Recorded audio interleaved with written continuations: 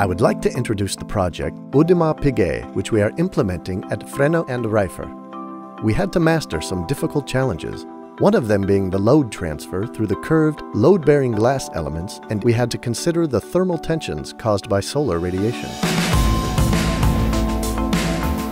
No materials other than glass and silicone are used vertically in the construction. All loads are worn only through the glass. We subdivide the construction into three areas. High load-bearing glass elements are used in the center. These thermally formed elements consist of five glass layers of 12 millimeters each and must carry up to 40 tons. Together with the Lucerne University, we carried out load tests. These glass elements had a load of 80 tons and still withstood the weight.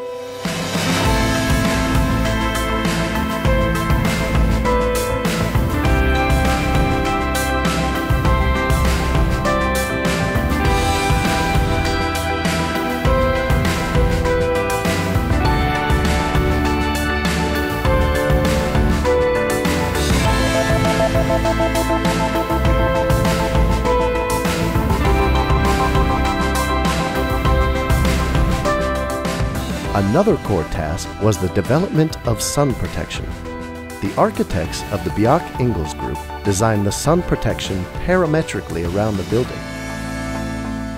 We used this algorithm and developed our own production drawings from it. This value-adding process allows us to achieve the highest quality in implementation.